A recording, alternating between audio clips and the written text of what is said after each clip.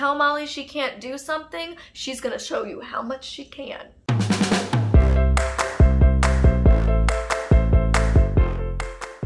Hello and welcome back to my channel for another story time. You guys always love a good story time and girl trust me, I have many, many, many more in me. um, so this one was very spur of the moment. I was not at all planning to sit down and film this video, but my mom and I were just talking about it and I was gonna make a little TikTok about it. By the way, go follow me over on TikTok at Molly Burke Official. We have so much fun over there but I was like, I feel like I should make another video about that. And my mom's like, yeah, you really should just like sit down and tell the story because when this happened to me, I had 5,000 subscribers. So most of you have obviously joined me well after that period in my life. That would have been, God, 2015? Summer of 2015, was it? I got it. It was the summer of 2016. I'm almost certain. Yeah, it was because it took me two years to get 5,000 subscribers. Just saying, takes perseverance, you guys. Just keep pushing through. If you're a small creator and you feel like you're never gonna make it, like just keep making content and don't care about the amount of followers. Care about what you're creating and what you're putting out into the world and like why you believe it's important and the rest will follow. That's just a side note, okay? I feel like a lot of people get discouraged and feel like they're never gonna make it and they give up, and they give up too soon. Most of us don't make it overnight, okay? So, two years in, posting one to two videos a week, and I was at 5,000 subscribers. I had been in a relationship for two and a half years. Again, you will have known my ex, Matt, if you were a part of my early days on YouTube. And we had broken up after two and a half years and like six and a half years of being best friends. So it was quite a hole in my life. And I was 21 years old and I was like, I'm a free bird. I should big girl date. Because I had only like dated as a young baby, you know? I had entered my relationship with Matt at 19. So all of my dating prior to that was between the ages of 14 to 19. And so every guy I dated, it was like, oh, we met through music, we met through school, we met through work, whatever. I had never like gone to a bar and met a guy. I had never swiped on a dating app and met a guy. It was all through like friendships or connections like that that grew into something romantic. And so I was in that phase where like Tinder, which was the first kind of big dating app, had come out when I was in my relationship with Matt. So I had never tried it. And so I was like, you know what? I've only ever dated through like real life connections. This could be something interesting to experiment with and try. And so um, about five or six months after my breakup, I made a Tinder profile, started going on some dates, and it was going pretty well. So I made the profile like mid to end of January, I believe. And this scenario happened in May. So I had already like gone on a couple of dates uh, with different guys on Tinder, obviously none that were successful. I kind of had like my system down. I wasn't putting that I was blind in my profile for a number of reasons. Number one, safety. Number two, if I have a very short space to tell you about myself, I don't think blindness is the most interesting or important thing to tell you about me. So I never put it in my profile. And so what I would do is once I had matched with a guy, I would like have a conversation. And if I felt like it was going well and I was maybe gonna meet up with them, I would then tell them. So I was pretty used to this by now. I found creative and fun ways to do it. If it wasn't naturally coming up in conversation, then I would do it by kind of forcing the issue by being like, hey, let's play two truths and a lie, or tell me three facts about yourself and I'll tell you three about me, things like that. And so with this guy, it ended up just coming up naturally. I can still remember when I matched with this guy and I was getting frustrated because Matt is such a common name for guys born in the like 80s and 90s. I mean, I'm sure it is still very common for like 2000s babies too, but very, very, very common. Like everybody had at least one to three guys named Matt in their class growing up in, my age. And so I was getting frustrated because like all these guys on the dating app were named Matt. And I was like, oh great, am I gonna end up dating somebody with the same name as my ex? And this guy had the same name. His name was Matthew. I was on a train ride home from a speaking engagement in Ottawa. So I've been in Ottawa and I was going home to Toronto via the train, VIA Rail. VIA Rail is the name of the train. Anyways, we were on the train, my mom and I, and she was swiping for me because we were just bored. We were like almost home at this point and we were bored. So she describing these profiles to me and she sees this guy and he has like a photo with an elephant, which is my favorite animal, and he has a bunch of photos traveling and he has a photo of him like skiing or snowboarding or something. Like he just had a bunch of photos that resonated with me. I love travel, I love elephants, I love skiing. So it just felt like, you know, hey, this would be potentially a good connection. So we swipe him and it was a match. And it was funny because he was from Ajax. I lived in Oakville. Those are not close, but I guess that's where we had kind of been in the area of when we were swiping on the train. I was still new to the app, so I didn't quite understand that it picked up your pinpoint where you were at that time, not where you, the pinpoint of where you lived. So I wouldn't have actually been swiping if I had realized that it was picking up from that area, not my area, but that's besides the point. Ajax, by the way, is in fact where Shawn Mendes is from. But at the time, I was hosting TV shows. I was the host of two TV shows, and they actually filmed in Ajax. So I would go to Ajax once a week. So it was kind of one of those things where I was like, you know what, I'll talk to the guy because at the end of the day, like, if we end up having a connection and deciding to go out, like I could go out for a drink with him or something after I'm done filming for the day in Ajax or whatever. So it wasn't like a lost cause to me, so I kept talking to him. I realized I should throw the blindness thing out there because he did ask me out. So I was like, okay, well, I have to tell him now. I'm not just going to show up and not have told him. So I was trying to figure out how I wanted to play it with this guy, what my move was gonna be. This time I decided to just like slip it into conversation because it did end up kind of naturally progressing to a place where I could because we were talking about like the physical activities we loved. So he was talking about all the sports that he loves to play, I was talking about the sports that I enjoy, and his thing, like one of his favorite sports was soccer.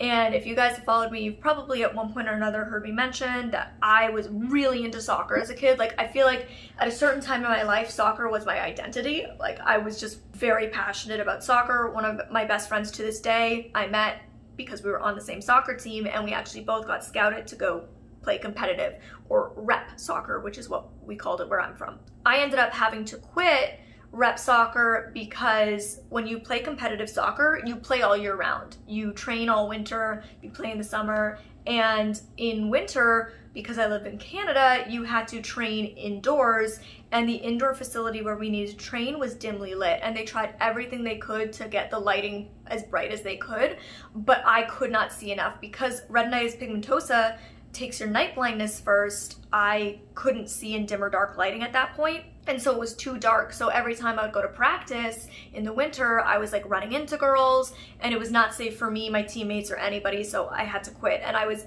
devastated. But that's how I found skiing because my parents had to like take me out of soccer midwinter. They were like, okay, what's a blind accessible sport that we can transition her into so she's not like devastated that she's losing her favorite sport. And so I found skiing. So it kind of was a, a blessing in disguise because skiing is like my absolute passion. I love skiing. So anyways, I kind of was like, oh, that's so funny. I played competitive soccer, but I ended up having to quit when I started losing my vision.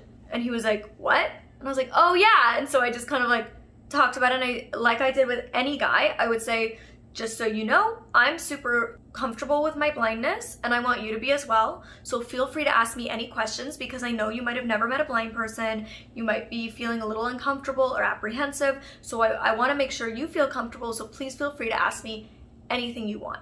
And he goes, well, how blind are you? I said, you know, I use a guide dog and I can read braille and I, I use voice software on my computer and my phone. You know, I just have a bit of light and shadow perception left. And he just goes, well, then I can't date you. And I had never faced that. Maybe I was like blessed, protected in some way from the realities, but I had never had that happen. Like I, I had never experienced, I had experienced when I was much younger pre ever dating guys saying things like that. Like when I was in grade eight, this very hurtful thing happened where I we had like a locker rooms, the girls and the boys locker rooms, and I was walking down the hallway past the guys' gym locker room because I had already finished changing and a bunch of the guys were still in there from my class. One of them was like joking around because one of the most popular guys in school happened to like me. I don't know why. I think he liked me because I was the only girl who didn't like him. So I was like hard to get.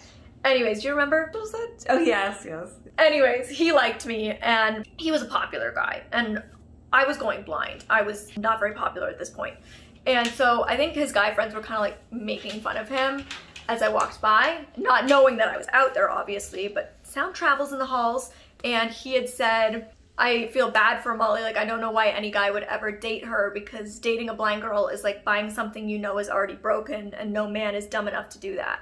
Which you can imagine as I'm going blind at 14 years old and having never had a first kiss, I was like devastated by this. I was already at such a low point that I didn't need that, you know? And so, and I had had other guys, like I had another guy that year be like, who, who had a disability. This was what was so frustrating. He himself had a disability, yet he said, oh, like, I would never ask a girl like you to the dance because you're blind. And I had another guy in school say like, you're pretty and you're smart and you're cute, you're totally my type if you could see. So I did have that back when I was like 14, but I kind of, by the time I was 21, had had multiple like positive, successful relationships. I'd gone on many dates and I'd never had something happen like that in the real dating world. Like I kind of, by that point in my life, had chalked that up to like dumb boys being dumb and not being men you know, because by the time I was 15, I had like my first relationship that was really wonderful and had really positive experiences. So I'd never had something like in the real adult world of dating, had a guy say anything like this. And certainly not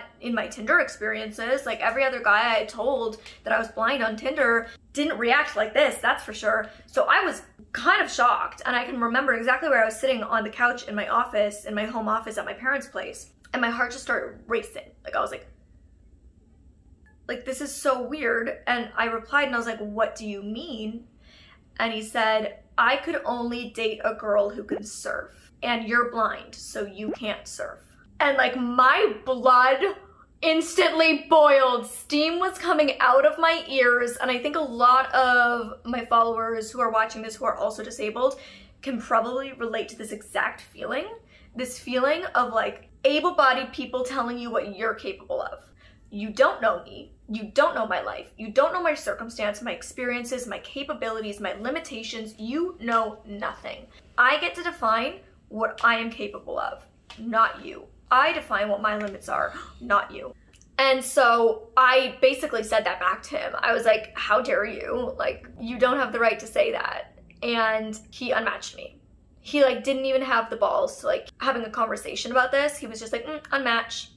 And I like ran to my parents. I was like, can you believe this? I was just irate. I was so frustrated. And I was honestly just really hurt. Like I was really hurt. I was like, is this really like what guys think behind the scenes? Like maybe this is why none of these dates are working out. Like maybe this is secretly what all guys think. Like I just, you know, you go down this like rabbit hole when you're wounded um, of like negative self-talk. And I did that. I kind of like made a big long Facebook post just privately like on my personal Facebook. I'll pop it up here if I can still find it. I'll have to scroll back years. I probably won't. That's a lot of time. I was just really upset about it. And I always remember you stomping into the kitchen and almost like, like stomping your feet up and down like how dare this person say that? And we were like looking at you like, what? And then you were telling us and, and we were like, oh, okay. And the reality is it's like, I get that dating a blind person isn't for everyone, but it wasn't about that it was a it was the fact that he that was his reason like nothing else about my blindness that that was his reason and i feel like it's a stupid thing for multiple reasons you live in Ajax not exactly known for surfing. Like nobody's like, ooh, you know where we should go for some hot surfing? The greater Toronto area. There's some sick waves. Like no, people are like, let's go to SoCal. Let's go to Australia. Like there's many places you go in the world to surf. Toronto's not one of them. If he's swiping on Tinder in Ajax, there's gonna be many women he comes across who cannot surf, who are sighted, okay? Surfing is a very specific skill and it takes a lot of opportunity to just even be in a space where you get to learn that skill. So if he's like, my non-negotiables with dating, number one, must be able to surf, you might wanna move somewhere else because you're gonna have a hard time, Matthew. I was just pissed for multiple reasons and I just thought it was so ridiculous. And it was just a few days later that I was scrolling on my Facebook and I went to a school for the blind made these two videos recently about that experience. I have a lot of friends on Facebook from the School for the Blind, and one of them had written that he was so excited to go learn how to surf this summer. And I hit that guy up. I was like, Steven, you need to tell me everything you know because he's fully blind from birth, I believe. I was like, where are you doing it? How, when, what, where? Give me all the deets. And he's like, oh, it's this organization called Extreme Mobility or XMO Camps that teaches blind and visually impaired teens and young adults how to do things like surf. And I was like, hook me up. The registration was already closed, but I was not going to take no for an answer. So I wrote them this big heartfelt email, this big long letter about the whole experience and the whole story and what I do and why I cared so much and why it meant so much to me. And they called me. And they were like, yeah, we'd, we'd love to have you. I was so excited. And the craziest thing is this was just like literally a few days later that this happened. I remember being in shock. I ran out to my parents once again to the kitchen and I was like, you guys, I gotta learn how to surf. like, I just thought, typical. Tell Molly she can't do something, she's gonna show you how much she can. The craziest part was when I they do it one week of the summer and one week of the winter. Summer is in Los Angeles, winter is in Colorado. That's all they do. This week that's in SoCal, I happened to line up with my first ever VidCon.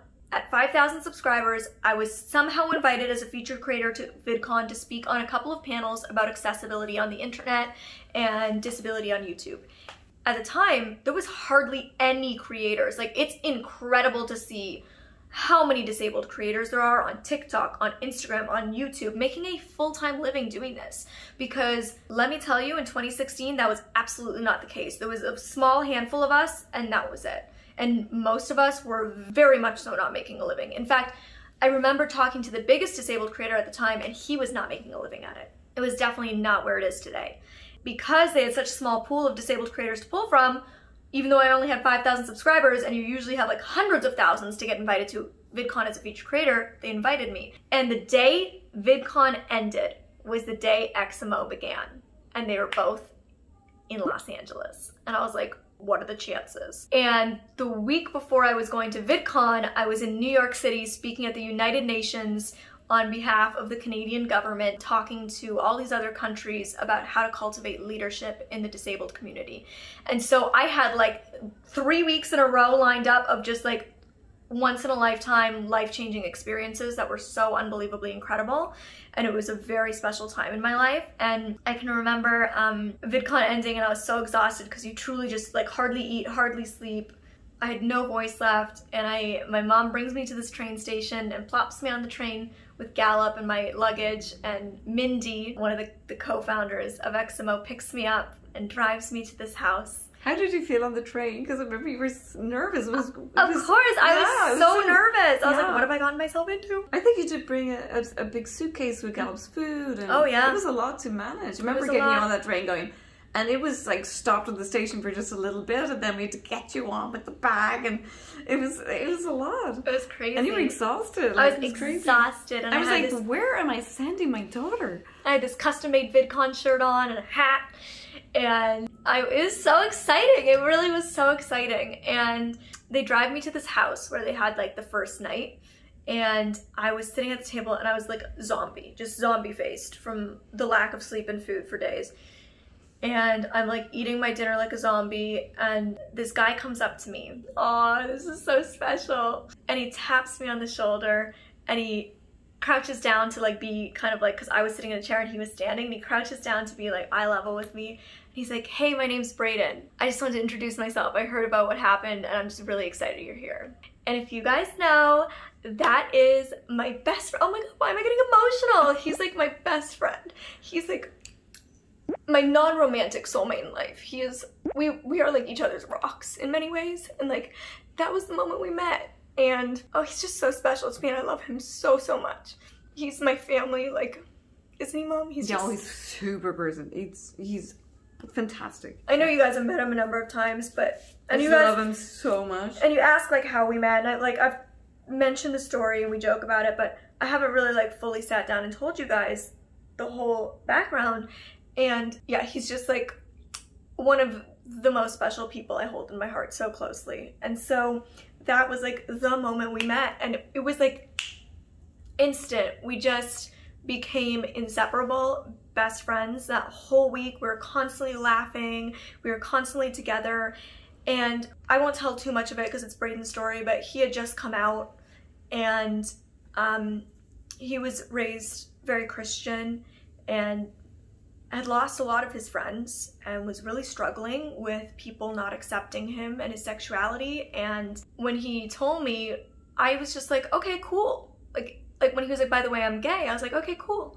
It was like a huge moment for him, which I didn't realize at the time, but because he had never come out to anybody and them just say, oh, okay. Like every time he had ever come out, it was like a really dramatic experience. He lost people that he loved. And so it was like he had just been fired for being gay. I'll link the article he wrote about it below. It's a whole thing. I'm so proud of him for like putting this person on blast because how he was treated was horrible. So he had just lost his job because he was gay. Like it was like a really bad time in his life. And obviously like I was struggling as well in, in certain ways. And so it was just, we just became each other's everything that week. Like we just like everybody was just constantly like, oh my god, there's Molly and Bradon together laughing. And um, we just had so much fun that week. And he was so determined to like help me surf and like have that experience. And so I want to say a couple of things about the whole thing because I did surf. Here are some bad photos. And I was really bad at it but I was so determined to get up. I swallowed so much salt water. It was horrendous. I felt nauseous. I was coughing.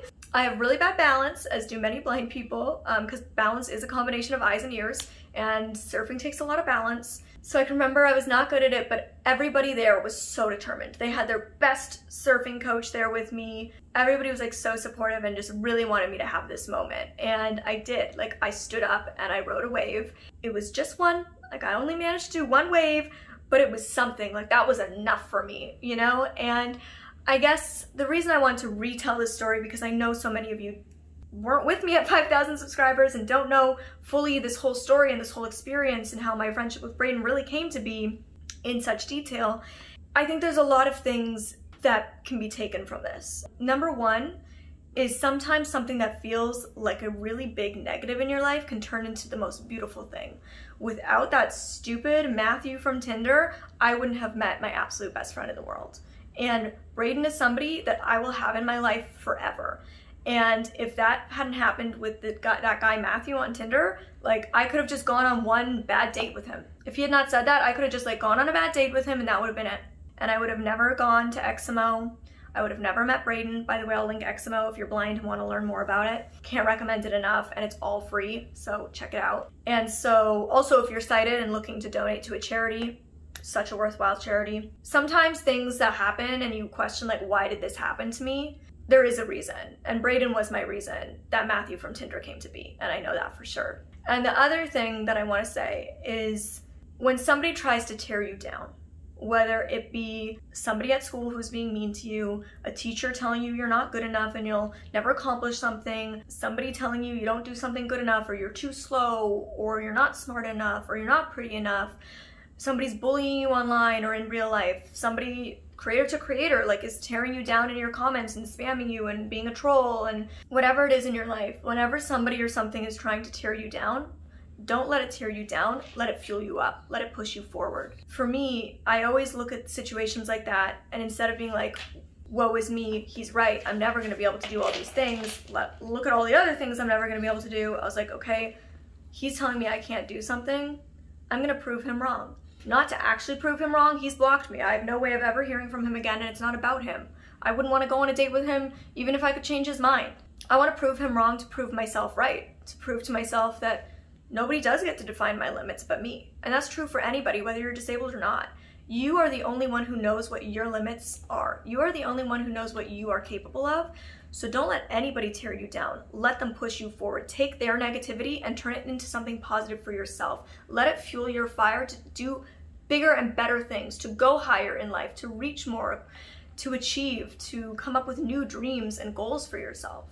And I think it's truly the best way you can deal with any form of hate or negativity in your life is to say, you know what, I can take your negative comment and I can make it into something positive for my own life and for my own self and to improve my situation. I've done that many times in my life, whether it be with this situation or with negativity on YouTube or any other number of things. It really is the best way you can handle it and I encourage all of you to try to do so in your own life and it's not easy at times, but you'll be amazed at what you can achieve when you when you really take things and move in that positive direction with them instead of leaning into the negative.